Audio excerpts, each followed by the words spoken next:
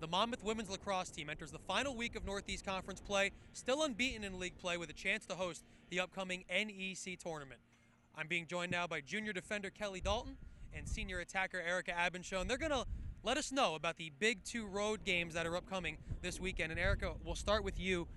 The, the team is on a great run right now. You go into play on Friday at Bryant with a chance to still host the league tournament. As a defending NEC champion, has to be exciting for you. It's very exciting. We look forward to Friday's game. This is a huge weekend for us. We understand that we have to win out in order to host, so we're hoping for the best. We have to um, actually pick up our game a little bit more. We have to step up and play as a first half, half team and not just pick it up in the second half. So. Well, we've noticed the offense be able to pick things up in the second half, which we'll talk to you about in a second, but kind of allowing the offense to get into their game, Kelly, has been the play of you and the rest of the defense and Katie Donahoe in goal you guys have really been playing well recently on this NEC winning streak. And how important is it to get that going and allow your offense time to, to get into the flow games, which they have, but you guys to pretty much be solid all game long? Um, you know, you're right. We are pretty solid uh, throughout the whole game, and Katie's just a wall and goal, and she doesn't let anything through. And we realize that our momentum and uh, us making big plays will help the attack get going. And and make some good plays on their end. So as long as we're doing our job, they do their job, and it all comes through.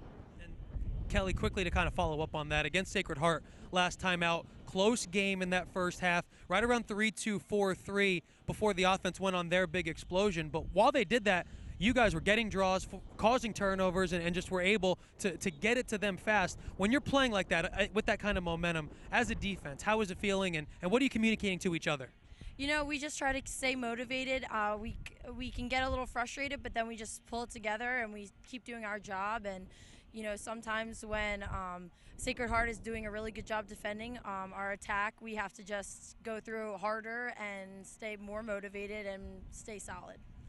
And in those last couple of games, Erica, on the attack. It, has seemed as though in the first half the offense kind of feels its way through, kind of gets into the flow of the game. But then the last couple of wins, second half, you guys have really been able to go on these long scoring runs to put these games kind of out of reach. When you when you get into a flow like that offensively, what are you and the rest of the attackers and the midfielders kind of thinking as that's going on? And I'll ask you the same question I asked Kelly, kind of communicating to each other.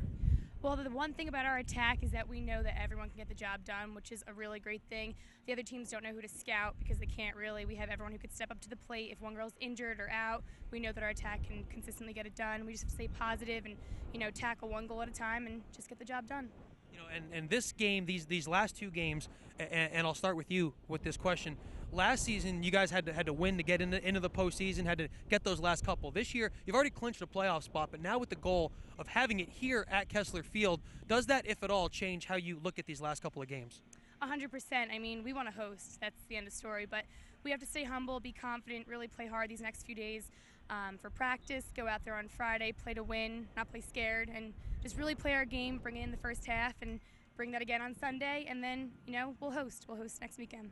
I know that's the goal of, of not only these two, but of Coach D Denise Wescott as well. I'd like to thank both Erica Abendschoen and Kelly Dalton for joining us here as we look ahead to a very big road weekend of women's lacrosse. The Hawks are on the road Friday at Bryant, and then the all important clash in New Britain with Central Connecticut State on Sunday.